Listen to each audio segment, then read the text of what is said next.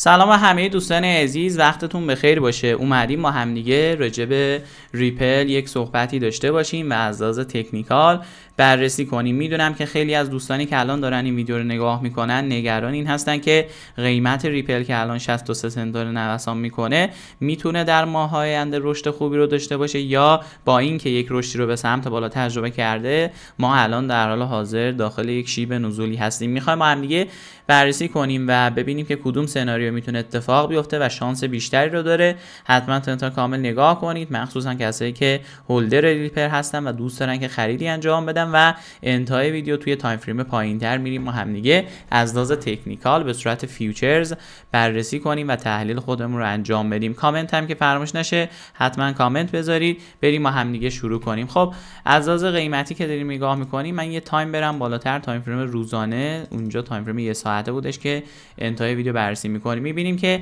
از اینجا ما یه pump بسیار خوبی رو به سمت بالا داشتیم. حالا دلیلش رو هم خیلی ها می‌دونن که چرا ریپل اومد. یه pump ی رو به سمت بالا تجربه کرد و یه رشد خوبی رو ما از سمت ریپل شاهد بودیم. علتش هم حالا خبرهای fundamental ی بودش که براش منتشر شد. باعث شد که قیمت بتونه یه جهش خوبی رو به سمت بالا داشته باشه.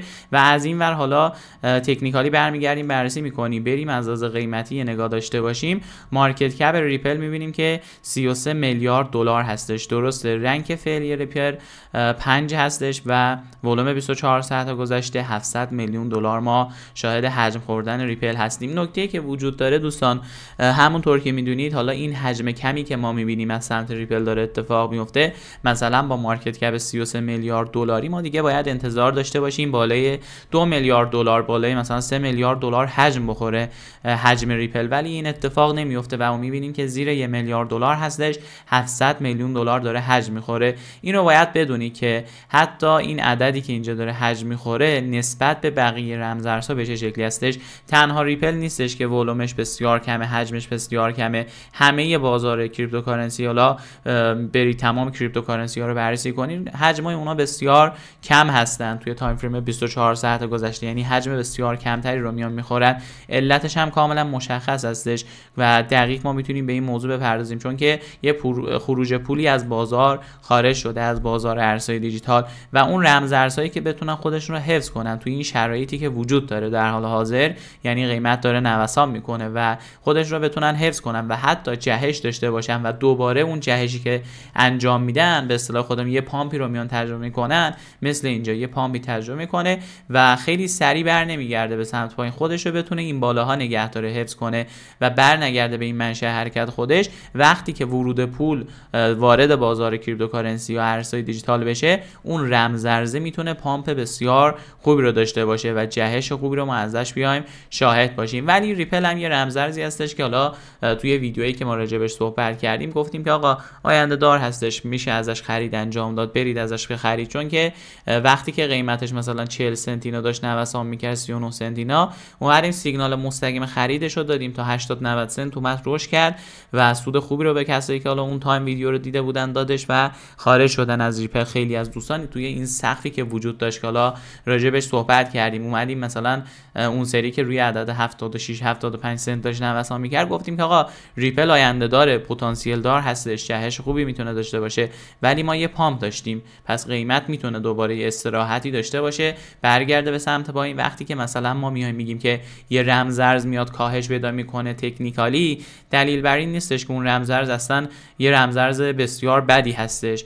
اون رمزرز اتفاقا خوبه راجبش صحبت می‌کنیم چون که قیمت باید یه کاهشی داشته باشه قیمت باید یک استراحتی رو توی روند سودی خودش انجام بده تا ما شاهدیم باشیم که یه جهش ها و حرکت های خوب رو ازش بیایم ببینیم. پس این نکته ها بسیار مهم هستش که حتما در جریان باشیم و اطلاع داشته باشیم. پس وقتی که یک رمزارز یه pump ی رو به سمت بالا تجربه می‌کنه هر رمزارزی باشه حتی بهترین رمزارز بازار و cryptocurrency باشه از لحاظ fundamental بهترین عملکرد رو داشته باشن. ولی در کل باید اینو بدونی که اون رمزارزه هم می‌تونه یک استراحت کوتاه مدتی داشته باشه. ریپل رو هم دارم میگم چون که نسبت به بقیه cryptocurrency ها توی این چند ماه گذشته عملکردش خوب بوده. یه pump ی داشته ورود پولی خوبی ازش شکل گرفته. مثلا 700 میلیون دلار خیلی برید نگاه کنید.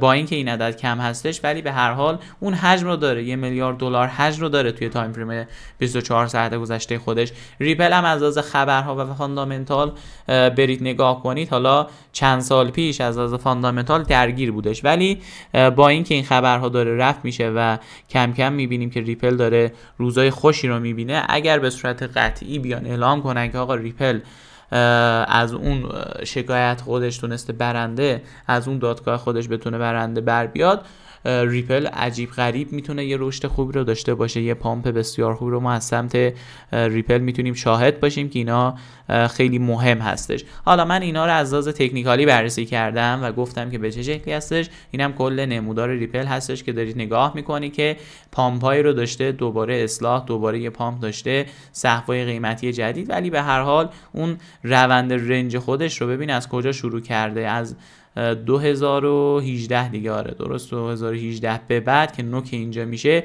شروع به یک روند نزولی رو به range تشکیل داده قیمت اومده کاهش پیدا کرده range بوده range بوده یعنی از لحاظ time بچه ها یک رمزارز حالا یه نکته ای که وجود داره یه رمزارز اگه بخواد رشد کنه از لحاظ time ی هم باید اون زمانش سپری بشه. یعنی یه مدتی بگذره و بعد قیمت بیاد یک رشد رو داشته باشه. candle ها خوب جا بیفتن. ریپل یکی از اونها هستش که از لحاظ زمانی خیلی خیلی گذشته. یعنی از اون time اصلی خودش منطقی خودش هم گذشته پس آماده جهش هستش که چند هفته پیش ما شاهد اون جهشه بودیم. از اینجا یه pump بسیار خوب رو از سمت ریپل ما شاهد بودیم. من ایچیموکو رو باز کنم اینجا. ایچیموکو رو که دارم باز می‌کنم اینجا می‌بینم که وضعیتش به چه شکلی هستش.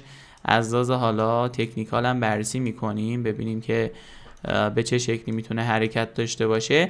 ایچیموکو بچه یه نکته که وجود داره. ببین کوموی ما از اینجا یه حالت خیلی فلت مانندی رو به بالا یه دفعه پام کرده چون که کندل هم به همین شکل بوده. این بالا یه دونه هشتی شکل تیز تشکیل داده. اینجا رو ذهنتون باشه چون که قیمت دوباره می‌تونه پس بگیره. این پایینا من ببینم که هشتی شکل تیز داریم. ببین یه دونه اینجا داریم. ببین من اینو میندازم یه هشتی شکل تیز اینجا داریم. دوباره یه هشتی شکل تیز. اینجا داریم که پر شده. اینجا داریم یه هشتی شکل تیز. حالا من کندرا رو دوباره روشن می‌کنم. پس قیمت ما دو تا سناریو داره. یا ما باید اصلاح کنیم. بیایم اینجا یه پولبک بزنیم به این شکل. من اگر قلم رو بردارم یه پولبک به اینجا بزنه دوباره روش کنه اینو پر کنه و بیاد به سمت پایین اینا رو پر کنه. این امکان وجود داره. یا هم بیاد سناریوی دوم اتفاق بیفته. ما اینجا که حمایت مهم داریم بیایم دوباره update تحلیل بذاریم ببینیم که آیا قیمت از اینجا می‌تونه رو به بالا حرکت کنه یعنی برگرده به سمت بالا یا نه. اگر این اتفاق نیفته ما کاهش پیدا می‌کنیم یه pullback به اینجا می‌زنه دوباره اصلاح می‌کنیم. یعنی میاد می‌رسه به این سطحی که اینجا وجود داره. 46 سنت خودش و این نوک حالا هفتی شکل تیز خودمون رو میایم پر می‌کنیم. این قرمز رنگ هایی که من اینجا رسمش کردم اینا حمایتن. حمایت های مهم واسه ما به حساب میان که time frame های پایین تر مثلا 4 ساعت یه ساعته رو position buy باشید حالا. یعنی long position بگیرید. یکی رو عدد 56 سنت هستش پایین تر رو عدد 47 سنت این پایین رو عدد 42 سنت هستش. این پایین رو عدد 36 سنت هستش. اینا عددهای مهمی هستن که قیمت می‌تونه واکنش های خوبی رو از خودش بیاد نشون بده. وقتی که میاد می‌رسه به این عددها انتظار داریم که واکنش خوبی رو نشون بده و قیمت حالا یه حرکت رو به بالایی رو داشته باشه و حرکت کنه به سمت بالا. این از این موضوع حالا من بررسی انجام دادم و تمام گفتنی ها رو گفتم. از این بالا هم نگاه کنیم. یه مقاومت داریم. روی عدد چنده؟ یه دلار و 20 سنت هستش. این یه دلار و 20 سنت از اینجا در نظر بگیریم 100 درصد رو داره. یعنی ما از لحاظ منطقی بخوایم نگاه کنیم قیمت ریپل یا XRP می‌تونه تا یه دلار 20 سنت و 24 سنت یه حرکت خوبی رو داشته باشه یعنی یه برگشت خوبی رو ما ازش می‌تونیم شاهد باشیم که قیمت بتونه حرکت خوبی رو نشون بده. پس این موضوع رو که ما می‌دونیم انتظار خواهیم داشت که در time کوتاه مدت ریپل یا XRP بتونه حرکت کنه. یه دلار مثلا 20 سنت و 23 سنت رو touch ش کنه و بعد حالا اگر حرکتی هم داشته باشیم حرکت یا روز نزولی باشه یا صعودی باشه. یا time برم بالاتر time frame هفتگی. توی time frame هفتگی من نگاه کنم وضعیت رو. ببین time frame هفتگی ما روند صعودی رو داره نشون میده بهمون. از اینجا در نظر بگیریم ببین اینجا رو. ما یه روند نزولی داشتیم درسته؟ از اینجا به بعد وارد یه روند صعودی شده. یه سقف داشتیم یه کف. یه سقف داشتیم یه کف. یه سقف داشتیم و همینجوری سقف با کفای بالاتری از خودش داره نشون میده و قیمت داره برمیگرده به سمت بالا و یه حرکت خوبی رو ما ازش شاهد هستیم. اینجا هم یه حمایتی وجود داره. ببین یه حمایت اینجا هستش که وقتی که قیمت بیاد برسه به این حمایت خودش انتظار واکنش رو به بالا رو ما باید ازش داشته باشیم. یعنی یه برگشت خوبی رو ما ازش شاهد باشیم که برگرده. این از این موضوع. حالا یه time هم بریم بالاتر. time frame ماهانه. توی time frame ماهانه هم که کلا مشخص ما ببین چند ماه از 2018 به بعد روند رنج رو داریم. ما چند روزه؟ روزش هم ببینیم. 1918 روز که XRP روند سعودی رو نداشته یعنی سخت خاصی رو از خودش تشکیل نداشته که جالب هستش این موضوع. حالا خیلی ممنون که تا اینجا مشاهده کردید. من تمام گفتنی ها رو گفتم. حجمم باز کنیم. می‌بینیم که حجم بسیار خوب هستش. حالا این کندل حجم خوبی داره و یه کندل نزولی داریم که 19 روز مونده که این کندل بسته بشه. اینجاها بسته بشه کندل بعدی تا نوک این شادو می‌تونه حرکت کنه. پایین تر بیاریم تا ببین از اینجا در نظر بگیریم اینجاها می‌تونه یه حرکت سعودی رو از خودش نشون بده. خیلی ممنون که تا اینجا مشاهده کردید. لایک کردن ویدیو فراموش نشه. نظرتون حتما زیر این ویدیو کامنت کنید تا ویدیوهای بعدی فعلا خدا نگهدار. همه دوستان از کانال فست تریدر.